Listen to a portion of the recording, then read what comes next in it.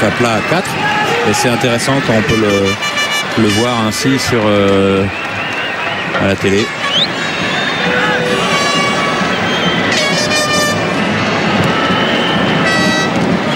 Devant. Et c'est récupéré par Riquelme. Avec euh, Messi et Tevez surtout. Et voilà, Lionel Messi. Il va falloir qu'ils soient plus agressifs défensivement, les, les Mexicains, sinon je pense qu'ils vont finir par prendre une, une grosse déculottée. Oh là là là là là là Il est passé. Laissé dans les bras de Osvaldo Sanchez. Euh, on parle souvent de Messi, de Tevez, de Riquelme, mais euh, Javier Zanetti, il est excellent également Ouais, hein, puis depuis le on début voit, de ce, cette on voit, euh, vu le placement des défenseurs mexicains, c'était difficile de tenter un centre, ou alors il fallait centrer très fort devant le but. Mais bon, il, a- il- il avait l'occasion de faire une petite. Oh là Attention, attention, ça peut être très dangereux là, ce, ce ballon, même s'il est tout seul. Et il y a une faute intéressante. Ayala, c'est une étourderie par match en début de match. hein. Là, il a, Ouais. il, pas vu que le ballon était pour lui, il s'est fait chouper. Chipper. Chipper. Castillo, en tout cas, qui se procure euh, un coup franc très intéressant. Près de la surface.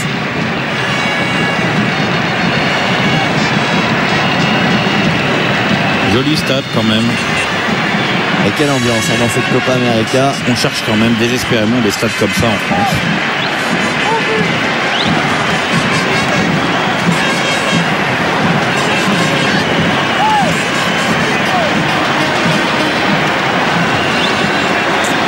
Véron Camdes sur Heinze. Heinze aussi, hein, c'est une superbe Copa América.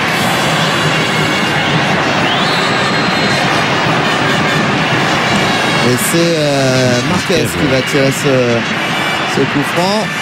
Ça passe au-dessus. C'est encore la caméra qui a pris.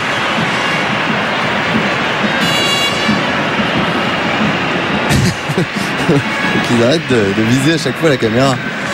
Ouais, sert à c'est même plus facile de viser le but, c'est beaucoup plus gros. hein.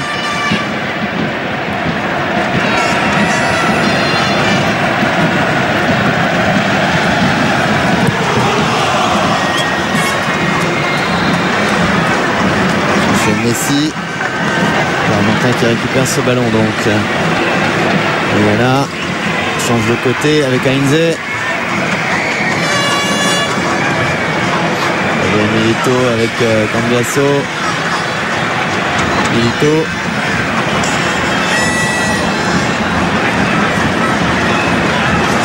C'est pas mal joué avec euh, Tevez. Tevez qui peut euh, essayer de s'incruster. Sont trop passifs dans l'entrejeu, les Mexicains. Il faut absolument qu'ils soient plus rigoureux dans leur marquage, qu'ils soient plus agressifs sur le porteur du ballon, sinon ils vont prendre une fessée. Et heureusement que Castro est là, hein, côté euh, mexicain. Il sauve pas mal de choses. Attention, le centre. Ah, il y avait Véron qui était pas très très loin. Véron qui est quand même pas le plus, le plus rapide hein, de cette équipe argentine. Il fait le boulot. Jamais été un, Mais, euh, j'ai jamais été un grand fan de ce, de ce joueur. Là, tu sais pas ce que c'est. plus mobile. Tu sais pas ce que c'est. Tu sais pas si c'est un milieu tournant. Tu sais pas si c'est un défensif. Tu sais pas si c'est un meneur. Ah, c'est sûrement pas un meneur. vu Le, le faible nombre de, de passes décisives et de buts qu'il inscrit. Pinto pour euh, la touche. Au moins, Riquelme, on n'est pas obligé d'aimer son style un peu euh, au ralenti. Mais en tout cas, c'est sûr que c'est un meneur de jeu. quoi. Il n'y a pas de doute quant à son positionnement sur le terrain. Toujours pour la touche.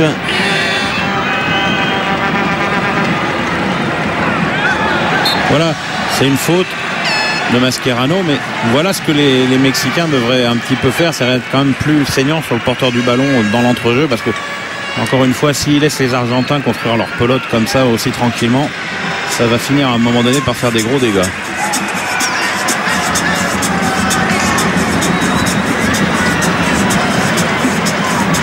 Marquez euh, vers Castillo. Très, belle, très bon ballon. Castillo avec un peu seul. Ah, D'ailleurs, il perd le ballon. Dans la série des Argentins qui font une grande Copa América, Mascherano, il est assez sensationnel aussi. L'arbitre a laissé jouer là. Ah bon, il n'y a pas faute de Vérone là. Pourtant, il n'avait pas touché le ballon. Tevez et, Messi. Ce qui est extraordinaire quand même, c'est que Messi, euh, on le laisse vraiment pas tranquille. Et euh, il n'a pas du tout une attitude à rester à terre, à se plaindre. À chaque fois qu'il perd le ballon, euh, même quand on l'a récupéré un peu durement, eh ben, il, essaye d'aller le rechercher. Ça viendra dans 3-4 ans quand il en aura marre de prendre des coups. Il a quand même un style de jeu qui. comme, comme son illustre aîné Maradona, comme avec lui. Une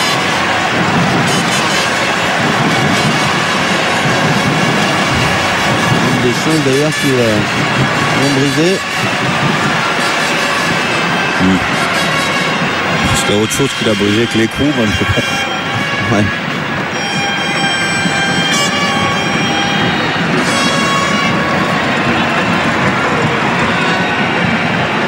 Diego Maradona qui on le rappelle a ouvert cette euh, Copa América avec le président Chavez, le président du Venezuela.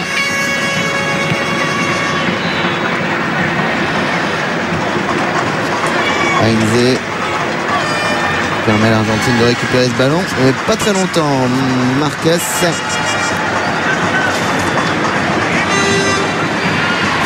Marquez qui est la grande star de cette équipe euh, mexicaine avec euh, Arce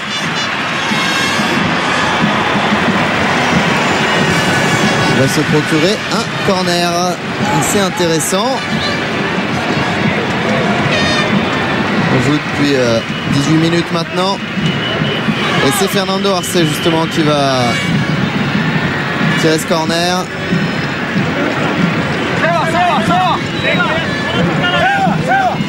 Castro qui est là. Castillo évidemment pour faire jouer en, en deux temps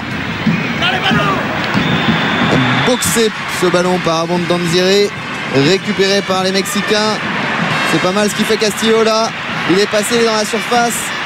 Vous avez vu le regroupement euh, des Argentins. Assez impressionnant.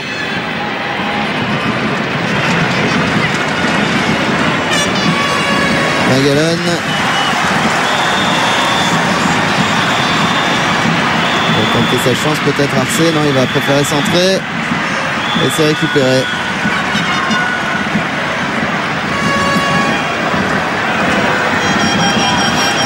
Les Argentins qui sont pour l'instant euh, bons, on va dire, dans, tous les secteurs du, jeu. il manque évidemment un, but, mais euh, aussi bien dans la, création vers l'avant que dans la, défense. Un puis Eric c'est incroyable, est beaucoup plus mobile que dans les précédents matchs. Est-ce qu'il a remarqué qu'il jouissait d'une peut-être une plus grande liberté au milieu Et là, Verenze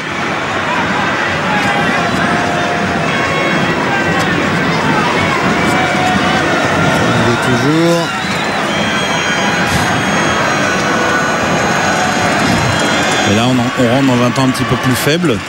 Donc les Argentins reviennent un petit peu à la base de leur jeu. Donc euh, une sorte de, de, même si là, ils cherchent. Euh, ils ont cherché euh, par-dessus. Tevez effectivement hors jeu. Mais bon, il essaie surtout de conserver le ballon. Et 20 minutes de jeu, toujours 0-0 entre le Mexique et l'Argentine, peut-être pas pour longtemps avec euh, Tevez maintenant qui est passé, qui frappe et ça passe à côté. C'est pas mal cette euh, frappe croisée, même si son le ballon s'est un peu écrasé, il n'est pas vraiment parti. Ouais, on voit son pied là qui est euh, les yeux d'Alfio Basile.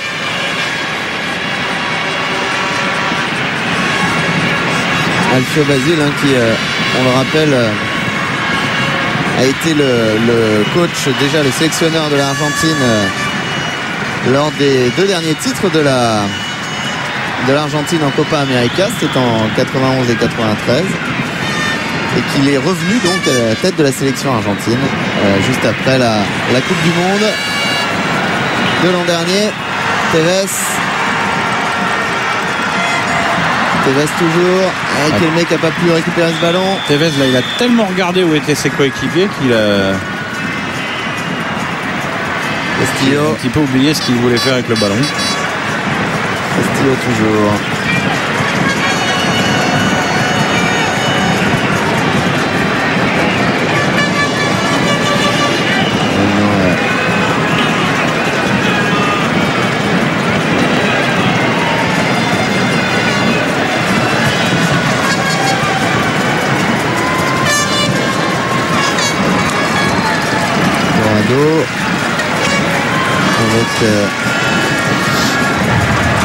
C'est- ils ont du mal à, rentrer.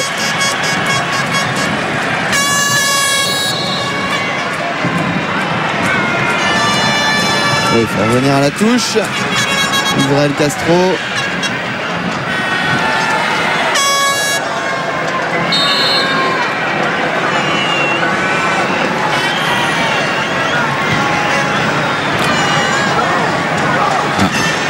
Ça y est.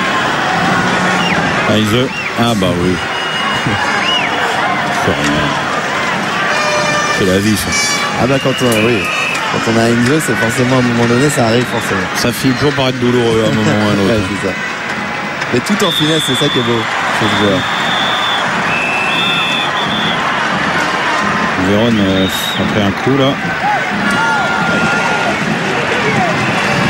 Le bon travail de Cacho qui euh, permet aux, aux Mexicains d'avoir un, un corner. Et Véron qui est touché. On va revoir peut-être. euh, ouais.